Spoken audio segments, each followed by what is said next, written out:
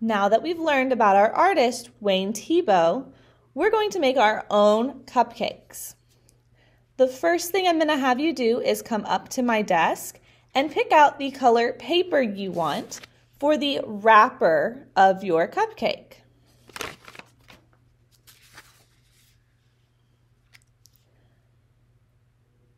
Now that everybody has their paper for their wrapper, we're going to fold this page in half. Kind of like you're making a book. Fold it in half. And then open it back up.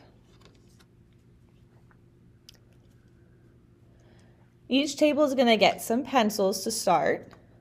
With the pencils, the very first thing we're going to do is on that folded line, we're going to make a mark, a little dash mark on each edge of the page.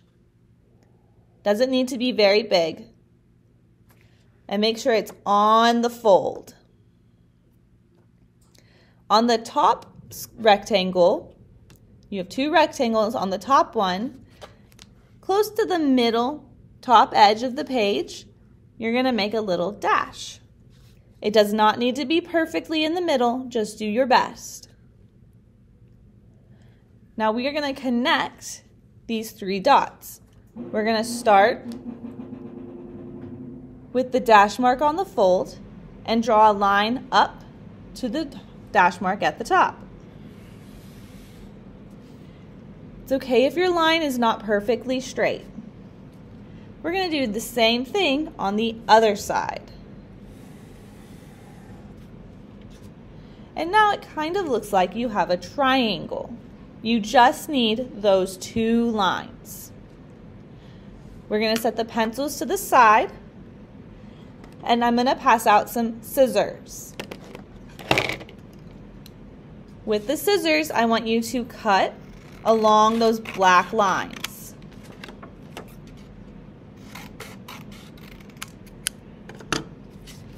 We're going to hang on to these extra pieces, so set them to the side for now. This is going to be the top part of your cupcake that we're going to cover with frosting. Now we need to do a little bit of stuff on the bottom part. So you still should be able to see your two dash marks. If you can't, you can make two more again. On the bottom part, you're going to put two fingers on the edge and make a little dash. Okay, I marked two fingers from the edge of my paper and made a dash.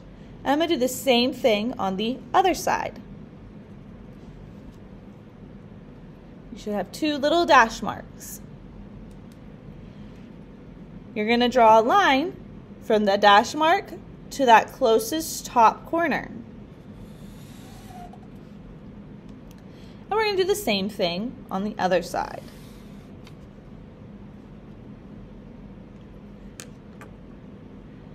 Again, with the scissors, we're going to cut on those black lines.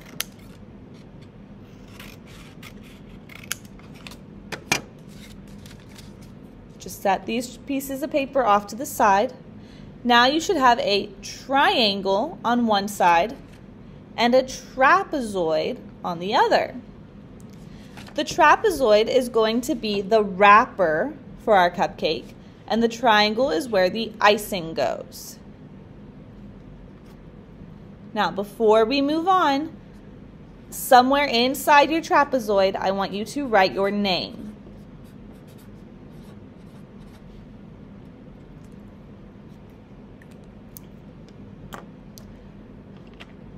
We're now going to pick up the pencils, that's all we need them for, and put them back on my counter.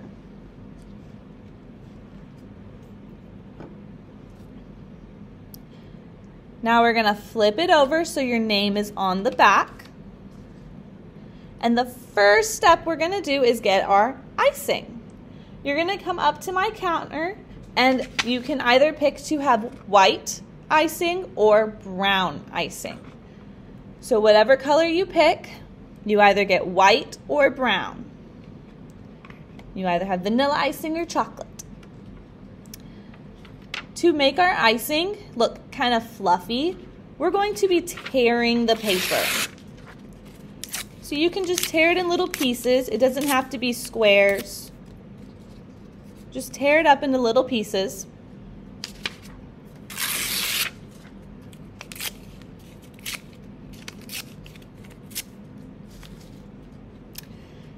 And then we're gonna be gluing them on that top triangle. You wanna cover the whole triangle. So I'm gonna get each table some glue so you can glue them down. When you're doing this, I would start near the bottom of the triangle and work your way to the top. Put some glue on and then stick down some of your icing. It's okay if it goes past or outside. It'll just make it look like it's super fluffy.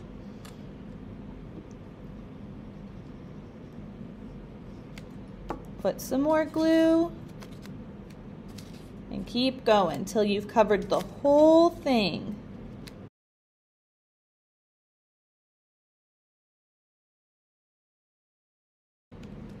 If you miss any spots, you can go back and add some more.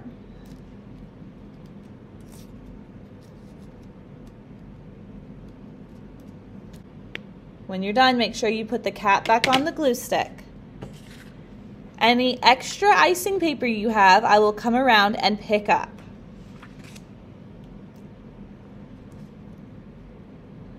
Now the next part is adding colorful sprinkles to our cupcakes.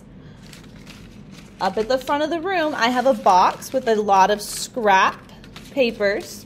You also have the leftover triangles that you cut from your cupcake wrapper. You can use any of this paper to make whatever color sprinkles you want.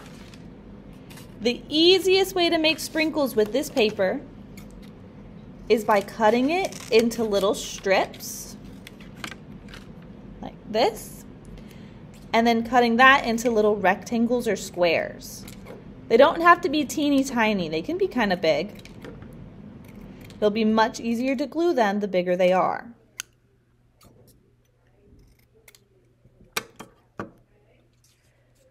Then with your glue stick, you can put down some glue dots where you want your sprinkles to go on your paper.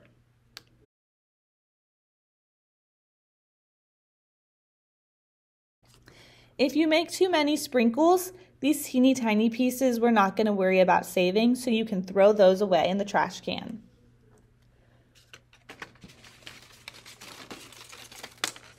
You can do more than one color.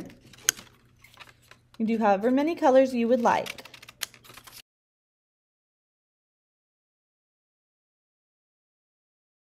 Once you're happy with your sprinkles, you need to put away your glue stick. And then any leftover paper that you have, if it's really big pieces, they need to go back in my recycling box on my counter. If they're teeny tiny pieces, they need to go in the trash can. Once you have cleaned up your area around you, you're going to raise your hand and I will come around and give you a cherry to put on top of your cupcake. If you don't want a cherry, that's okay. Just let me know. Once we have put away all the paper trash and everyone has a cherry on their cupcake, I'm going to come around and pick up these scissors and glue sticks. I'm going to trade and give you guys markers to color the wrapper of your cupcake. Maybe you want to add a silly face, or you want to put stripes or a pattern like polka dots and stars. Whatever you want, you're going to draw with markers on the wrapper of your cupcake.